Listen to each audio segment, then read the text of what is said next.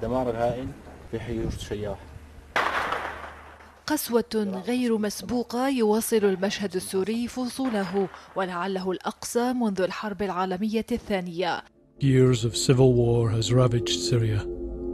تقرير لصحيفة واشنطن بوست الأمريكية عكس أزمة اللاجئين السوريين المبعثرين في دول الجوار وآخرون يتصارعون مع ظروف الحياة في بعض الدول الأوروبية.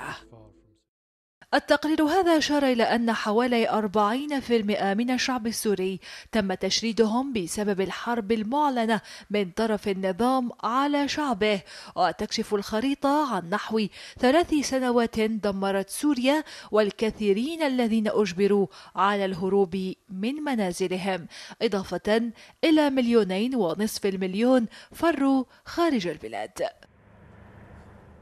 خطورة التقرير تكمن في أن هؤلاء المهجرين غالبا ما يبقون لاجئين بقية حياتهم في البلد المضيف وهو ما سجلته الصراعات في دول أخرى حيث يفضل هؤلاء عدم العودة إلى بلادهم.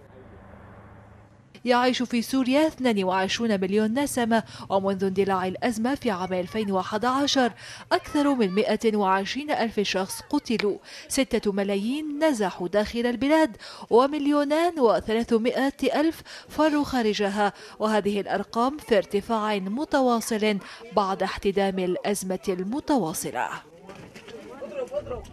كل لاجئ سوري من هؤلاء يحمل معه قصته المأساوية قبل وخلال عملية الهروب التي لطالما تكون محفوفة بالمخاطر. مراسلو صحيفة واشنطن بوست الذين حصلوا على أكثر من 18 قصة مختلفة عاشها هؤلاء الفارون تظهر كل واحدة منها مدى الندوب التي تركها الصراع على حياة اللاجئين الحالمين بالحرية والعيش في بلدهم سوريا بأمان.